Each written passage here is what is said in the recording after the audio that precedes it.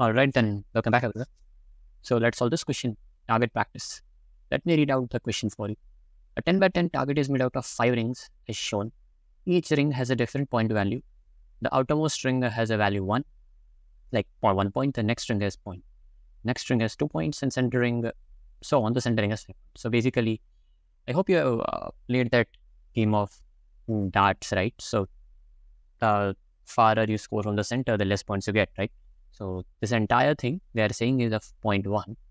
So basically now it's not a circular board, it's a square grid basically by 10 by 10 target board that they have shown in which uh, basically the outermost one uh, has a points value 1 and so on. Basically this, uh, you know, like the second ring has a value 2, third ring has a value 3, the fourth ring has a value 4 and so on and so forth, right? So they're given some points to it, fine. Now Vlad fired several arrows at the target let them determine how many points he got. Okay, so this guy has fired some arrows at the target. So let's see how the input is given so we can get an idea. Firstly, of course, first line of input will be number of test cases. Each test case consists of 10 lines, okay, each containing 10 characters. So basically, um, and let's see, each character in the grid is either X representing an arrow or representing no arrow. Fine, so basically in input also we are given a 10 by 10 grid, right? And wherever there is X, uh, an arrow was basically arrow was thrown by this guy Vlad.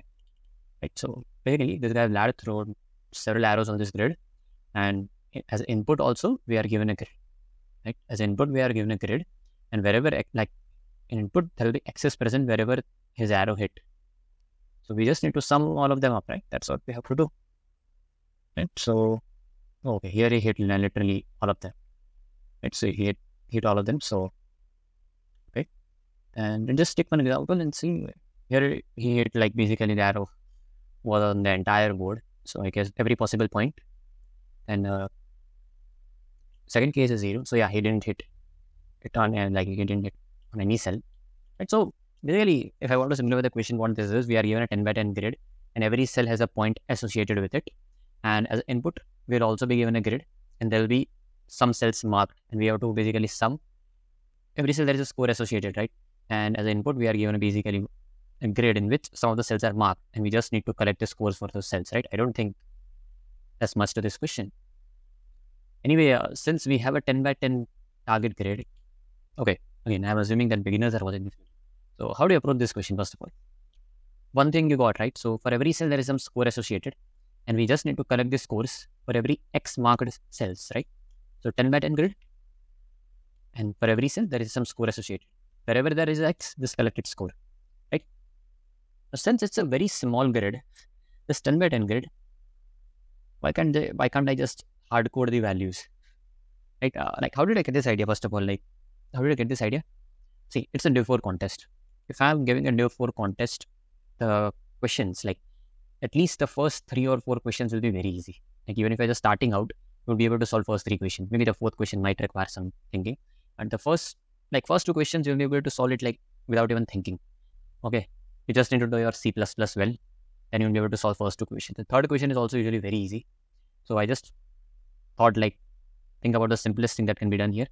And since the 10 by 10 target and one more observation even if all the x's were present all the x's were present the score is not exceeding 220 so it is suggesting there is some brute force involved here right?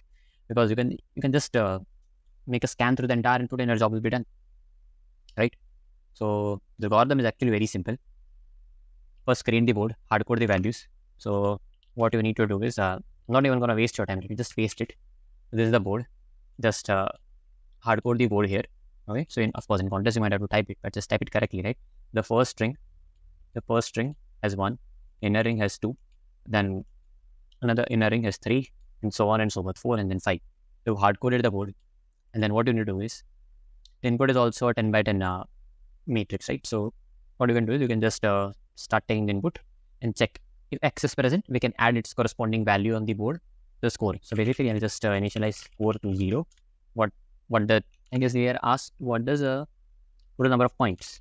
Okay, so maybe just an initialize total, and uh, there are basically it's a 10 by 10 grid, right? So we have to take input for 10 by 10 grid. And C is to 0, see less than 10, Let's take the matrix input. Char ch, cin, ch. Now if ch is not equals to dot because dot represents uh, no arrow, right?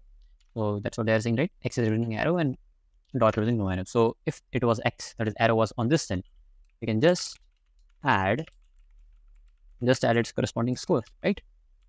Simple and cout. I guess I went a little bit fast here, but that was very simple. Here is the board. Wherever the X is, pick up its correct score and add its score. That's not much. Let's just print it and confirm the answer. Okay, okay, it was total, right? Not total. Supposed to print new line.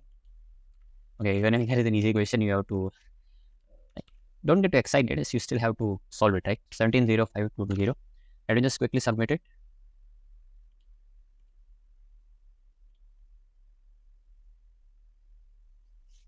Yeah, it works. Uh, so that was that. Thank you for watching. I'll see you in the next.